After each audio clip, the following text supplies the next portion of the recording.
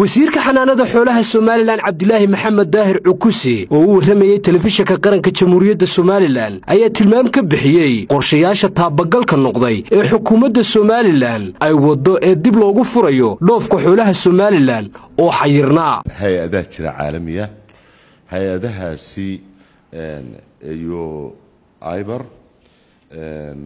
hay'ad kale oo ay la yidhaahdo waxay sameeyaan monitoring bay ku sameeyaan ama waxay la socdaan xogta caafimaadka xoolaha dunida oo dhan. Marka bilbil ayay ula socdeen xoolaheenna caafimaadkiisa. Annagu markaa waxaanu weydiisanay inay noo soo xaqiijiyaan caafimaadka xoolaheenna way xaqiijiyeen markhaati furkiina way noo soo direen oo waxay noo soo xaqiijiyeen inay marag ka yihiin in xoolaheennu ay caafimaad qabaan. Waxaa jira dadaal kale oo aanu ku jirno oo ah in shirar la qabto shirarkaasi ayaananu filaynaa inay guusha kama dambaysta ka soo bixi doonto shir ugandha mar dhow aanu tegayno oo hay'ado badan oo faw iyo iber iyo ururo kale oo caalami oo fara badan ay imanayaan. Marka ururadaasi ayaan doonaynaa inaanu shirkaasi ay nagala qayb qaataan xoojinta shir lagu qaban doono imaaraadka marka dambe oo dowladaha aynu xoolaha u dhoofinoo dhammina ay ka soo qaybgelayaan in ay markhaati furkaasi inagoo markhaatigayagii wadanna inaanu shirkaa tagno. Wasiir cabdilaahi cukuse waxa uu dul istaagay saldhigga militari ee magaalada berbera oo ay ka hadleen xisbiga mucaaridka ah ee waddani waxaan dhegaysanayay ninka doctor fadal la yidhaahdo aanu saaxiib nahay oo xogayaa arrimaha dabadda ee xisbiga waddaniya aad baan arrintaasi u diiday.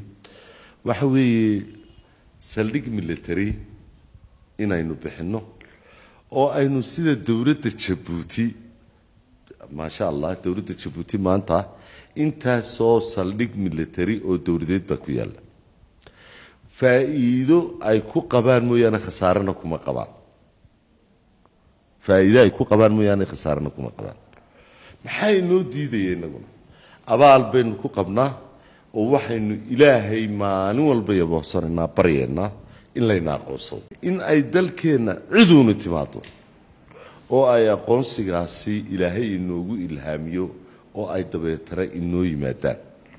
Oo maxay inagu soo kordhinayaan? Way inala degayaan. Oo dalkay maal gashanayaan. Way inala degayaan. Oo waddooyinka iyo shaqola'aanta iyo dhaqaalaha iyo waxbeerashada iyo kalluun la soo bixidda iyo baatrool soo saaridday nagala qayb qaadanayaan oo amnigeenna way nagala shaqaynayaan. Inagu halkaasi marka ay joogaan ee ay dowladda imaaraadku timaado alxamdu lilaahi rabbialcaalamiin leenahay dawaa'ilka kalee dunida iyagana miyaynaan meel u helaynin maxaa dalkeenna lala buuqayaa marka aynu cid heshiis la gallaba ee loo odhanayaa waxba yaynaan la gelin heshiis? Iyadoo la garanayo faa'iidada laga helayo waxay dowladdani ku guulaysatay in layna aamilo oo baatroolkii la maalgashado oo cidii xoolay nagu aaminto. Waxay dowladdani ku guulaysatay in d p w ay iyadana aynu heshiis la gallo oo maanta rajadeeda la wada dareemayo guusha ay leedahay. Waxay dowladdani la geli kartaa heshiis oo ay la geli kartaa mid dhaqaale iyo mid waddada berbere iyo etoobiya dal aynu wax ka ganacsanno etoobiya ayaa inoogu fara badan dalla waxaa inoogu fara badan ka sacuudi arabiyana xoolaha u dirno. Alaabta kalena waxaynu jecelnahay inaynu halkaa boqolka milyan toddobaatanka sideetanka milyan ee etoobiyaanka aynu wax ka iibino. Soo uma baahnin waddooyinka cid inoo dhista? Soo uma baahnin garoommada cid inoo ballaadhisa soo uma baahnin dekadaha cid inoo hagaajisa? War anigu waxaan la yaabanay xisbiga mucaaradka ah ee waddani doorashadii wax yar baaba kaadhay. Oo haddii dekada berbera oo arrinkeedu maasha allah yahay tartanka la galo. Miyay ka rajo dhigeen inay nimcadaa iyagu xukumi doonaan. Mise waxay ka tahay uun? Yaan xaggan iyo xaggan midnaba loo ciirsanin.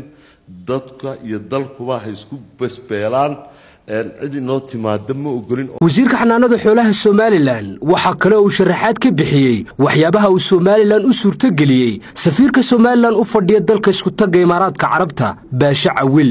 Waan maqlayay qaar xagxaganayo safiirka jooga imaaraadkana xagxaganaya shan iyo labaatankaa sannadoodba somalilan safiiray lahayd somalilan safiirre lahayd dalku doonaba ha joogay war soo maaha safiirka keliya ee ku guulaysta bal calalaqal. Cidina baayacda inuu keeno. Calalaqal cidinala soo degtay inuu keeno. Ilaa safiir shaqadaynu u dirnay tanay ahayd. Cid maal gashatay inuu keeno. Cid dalkan hungurayso uunu inuu macdan leeyay inay ogaatay iyo in kale isku dayda inuu keeno. Safiirkaasi innaga wuxuu inaga mudan yahay inaynu ku ammaano. Ma aha inaynu ku aflagaad